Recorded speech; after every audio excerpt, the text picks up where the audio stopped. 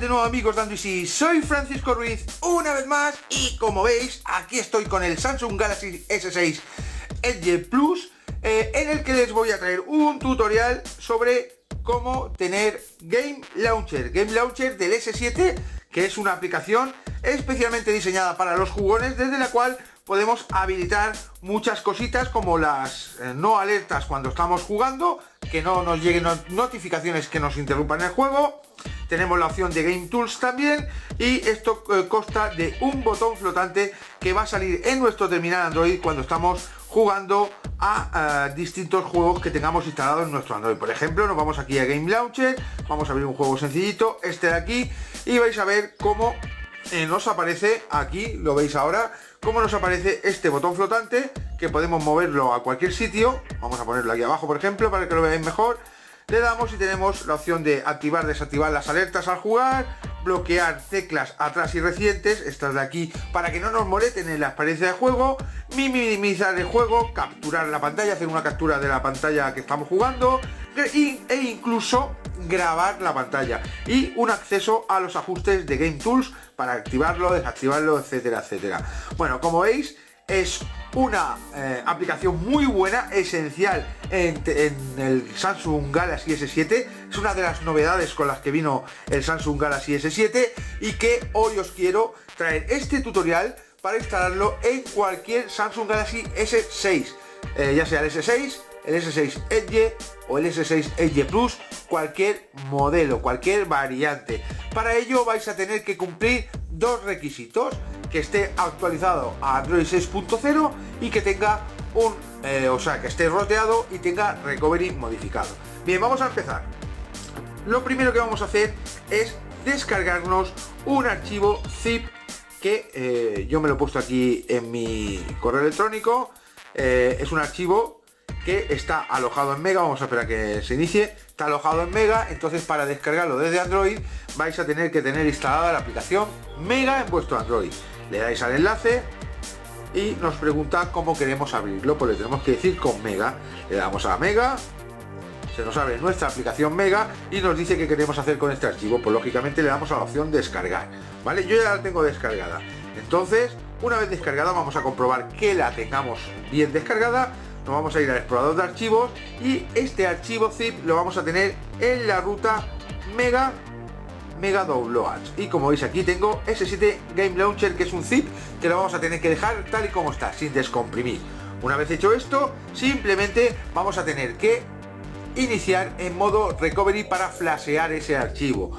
Como tenemos un terminal roteado, podemos entrar en recovery con la combinación de botones sin necesidad de instalar nada, pero es mucho más fácil con la aplicación Reboter. Simplemente con ella le vamos a decir que entre en recovery. Le damos aquí a recovery. Nos pedirá permiso de superusuario, le damos a permitir y ahora simplemente el terminal se eh, debería reiniciar en modo recovery. Vamos a esperar que se apague, se apaga por completo y ahora iniciará, veis aquí que está roteado, está flasheado, está el contador NOx a 1 y ahora se inicia en el recovery. Yo como tengo la no name ROM, ¿vale? Y el recovery eh, no name que os enseñé a instalar eh, hace apenas un par de meses, creo recordar. Ahora simplemente para instalar esta aplicación tendríamos que irnos a la opción limpiar, le damos a limpieza avanzada y hacemos tan solo limpiamos Dalvik y caché. Desplazamos la barrita, yo no lo voy a hacer, lógicamente ya lo tengo instalado. Desplazamos la barrita, esperamos a que termine este proceso y ahora vamos hacia atrás dos veces y nos vamos a la opción instalar. Vamos aquí a subir un nivel, si os sale esa pantalla, vamos a buscar donde tenemos el archivo en este caso sería SDCAR. Vamos a buscar la carpeta Mega.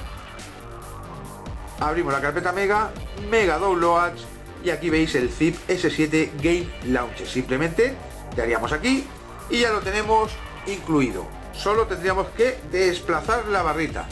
Desplazamos la barrita, esperamos a que acabe el proceso de instalación y una vez acabe nos vamos hacia atrás y nos vamos a la opción reinicio sistema.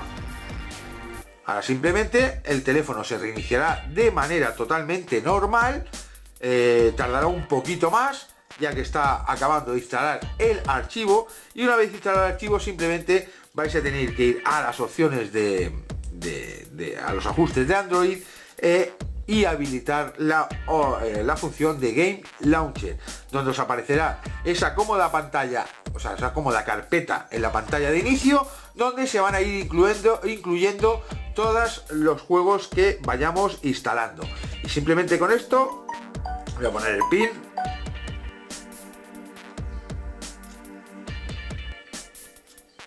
Ya tengo aquí el pin. Vamos a poner la huella.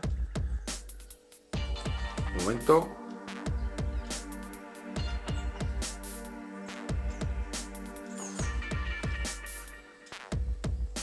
Estoy poniendo el pin.